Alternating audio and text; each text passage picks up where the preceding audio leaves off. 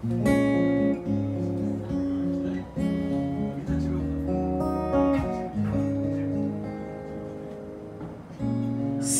平線をゆっくりとなぞる貨物船はあの日のまま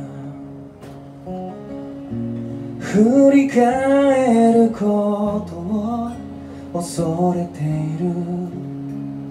2005年の僕もあの日のまま今まで何一つとして恩を返してないこのままじゃこの海にも見捨てられそうさだから僕は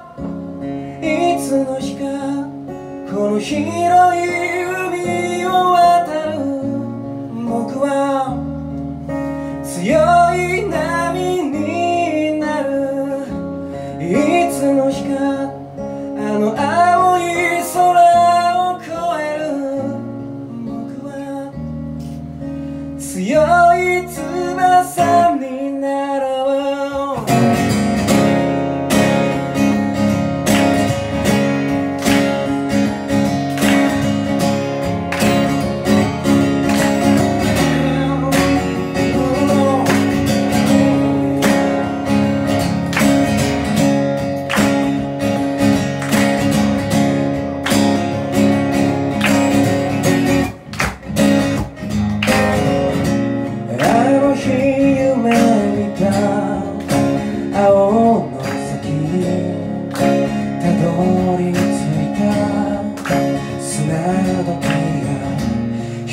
粒も残さず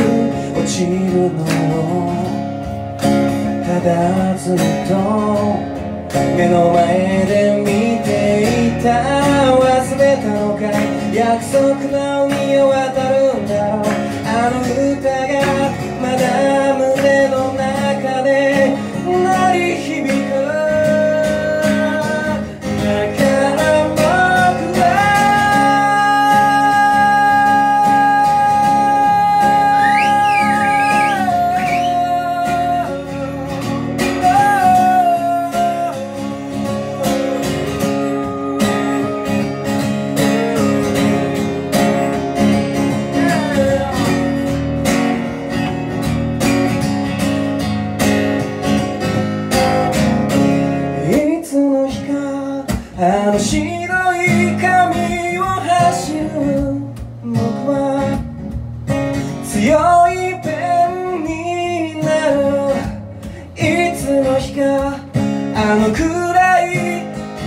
を照らす僕は